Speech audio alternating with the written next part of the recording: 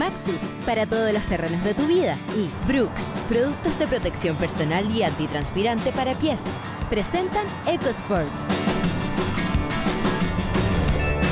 Si eres de las personas que cuando viaja prefieren recorrer las ciudades en bicicleta, te recomiendo ver este capítulo, porque cuando visites Nueva York será mejor que le des una oportunidad a pedalear.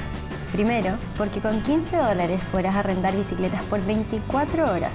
Es bastante más económico que subirse a un taxi. Y segundo, porque Nueva York es plano, así que solo se requiere un mínimo de estado físico. Nuestro primer destino está ubicado entre medio de Manhattan y Queens, la isla de Roosevelt, un lugar que a pesar de su particular belleza es poco concurrido por turistas e incluso por locales.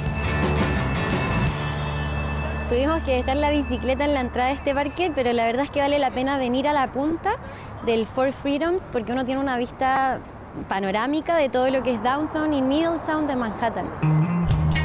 Four Freedoms Park, llamado así por el famoso discurso de 1941 del presidente Roosevelt, que alude a la libertad de expresión, la libertad de culto, la libertad de la miseria y la libertad del miedo, fue diseñado por el arquitecto Luis Kahn en 1973.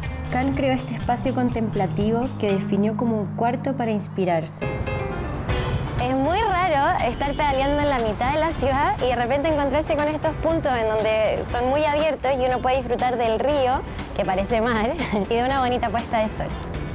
Williamsburg es un barrio ubicado en Brooklyn que hace pocos años pasó por un proceso de transformación enérgico que lo llevó a construir bares, locales y viviendas de lujo.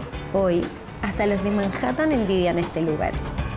Se acabó la jornada laboral y recién se está aprendiendo este barrio, así que yo voy a dar por terminada mi ruta en bicicleta por hoy y voy a ir a caminar un ratito.